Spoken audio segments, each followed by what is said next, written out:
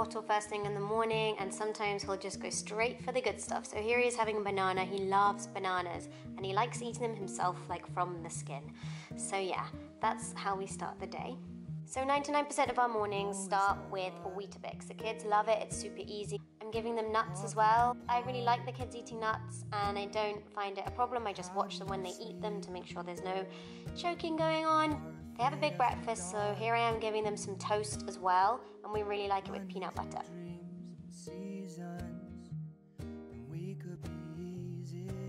Yum! So yeah, we tend to have a really slow, easygoing breakfast, and they sort of eat however much they want, but they usually have quite a lot. Sonny's snacking on some blueberries. I guess he's still hungry. The kids snack on fruit pretty much all day, which I'm totally happy with.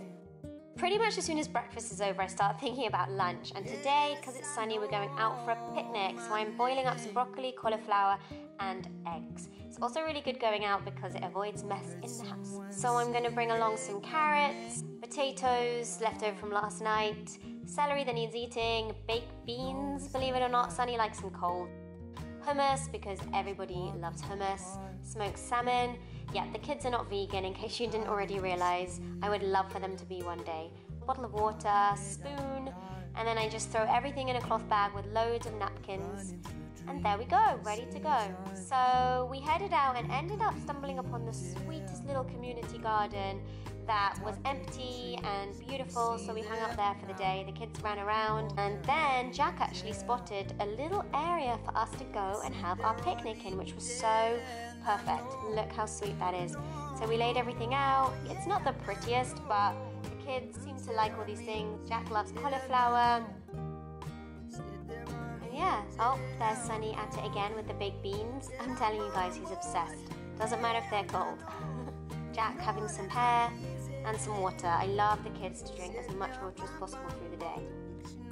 So we come in and then I start thinking about dinner. So here I am chopping up some carrots and onions, excuse my awful knife skills, and some celery left over from lunch. Sonny is wandering around munching on a carrot, just hanging out. And I'm getting cooking. I'm making bolognese. I'm seasoning everything. I always season the kids' food with salt and pepper. And then I'm also gonna add some fresh thyme because yeah, I just feel like I want them to get used to different flavors. Oh, Sonny's having some dried apricots now. He's a snacker, this one. He loves his food. Adding some chopped tomatoes and just stir it all up. Bolognese is so easy. I'm adding the leftover baked beans from lunch. I always cook whole wheat pasta, stirring everything up one-handed. Got a hungry baby in my arms. For dessert, they'll have yogurt. Um, sometimes it's Alpro or dairy-free. To be honest, they love the dairy-free stuff as well and some flaxseed on top, which they find really crunchy and delicious. And yeah, we're having dinner. And we're listening to some nice music, so Sonny's kind of dancing along. We always listen to music. You'll also notice that Sonny is topless. I pretty much always undress him for meals as much as possible, just helps avoid so much mess.